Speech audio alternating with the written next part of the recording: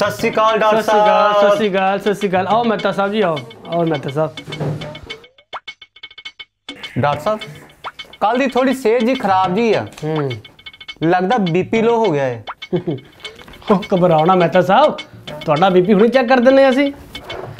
ਆ ਲੋ ਜੀ ਮਹਿਤਾ ਸਾਹਿਬ ਤੁਹਾਡਾ ਅਸੀਂ ਬੀਪੀ ਚੈੱਕ ਕਰ ਦਿੰਨੇ ਆ ਹੋਰ ਮਹਿਤਾ ਸਾਹਿਬ ਘਰ ਕਿਦਾਂ ਸਾਰੇ?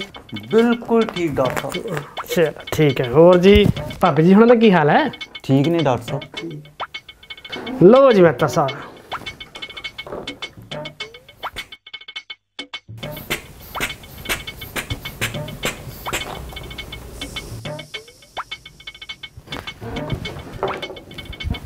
ਮਹਿਤਾ ਸਾਹਿਬ ਬੀਪੀ ਤਾਂ ਤੁਹਾਡਾ ਨਾਰਮਲ ਹੈ। ਬਾਕੀ ਹੋਰ ਮੈਨੂੰ ਕੋਈ ਤਕਲੀਫ ਤਾਂ ਲੱਗਦੀ ਨਹੀਂ ਹੈ। ਵੈਸੇ ਮੈਨੂੰ ਇਹ ਦੱਸੋ ਤੁਸੀਂ ਵੀ ਤੁਸੀਂ ਸ਼ਰਾਬ ਪੀਣੀ ਤਾਂ ਛੱਡਤੀ ਨਾ।